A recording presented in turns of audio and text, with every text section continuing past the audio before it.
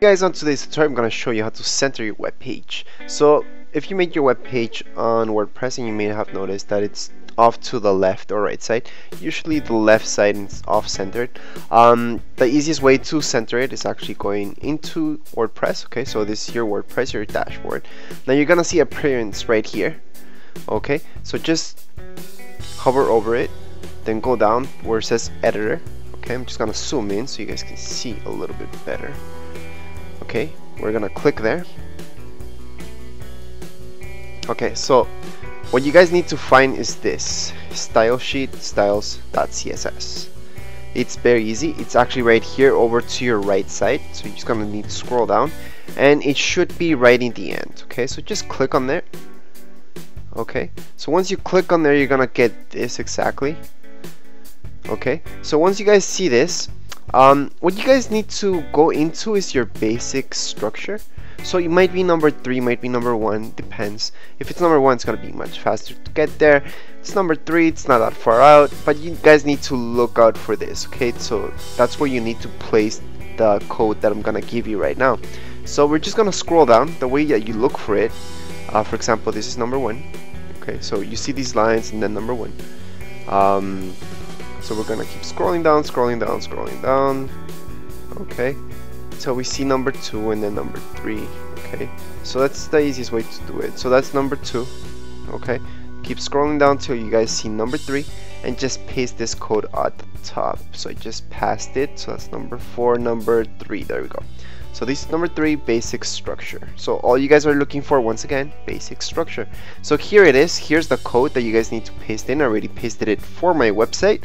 Um, so a lot of websites, uh, you will see they're off to the left side. If you don't have space here, don't worry about it. Just copy and paste this code. You will see this code in right here, the details of the video. Okay so just copy and paste this code exactly as it is. Now it is better if you paste it right at the top. Okay don't forget to put anything uh, especially the closing tag and opening tag. Those are very important. Also this part. Okay so everything's pretty much important but just don't forget okay? This that I highlighted that's the code for it okay? Uh, this other stuff is just um, other stuff that you will see.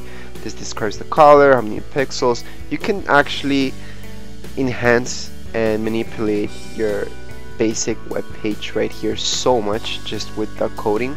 Um, however you're not expected to know coding to um, handle things on Dream on um, I mean WordPress and um, it's it's pretty easy. You just have to paste this code inside.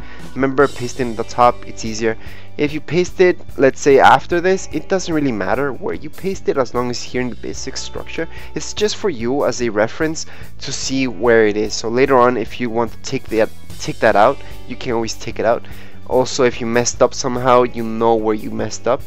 Okay so after you do that just uh, click on update file and you're pretty much done. Your web page should look good. Nice and neat. So next time you go to your web page such as Ace Illustrations like mine um, your page will be centered like this okay? So that's the coding for my web page okay? It's still under process and everything but that's how it's centered okay? A lot of these web pages that you pick out from WordPress they're all to the left side or right side usually left. So that's how you center them. If you guys are still having problems or have any questions you can comment right here below in the comments area. And don't forget to subscribe and rate. Thank you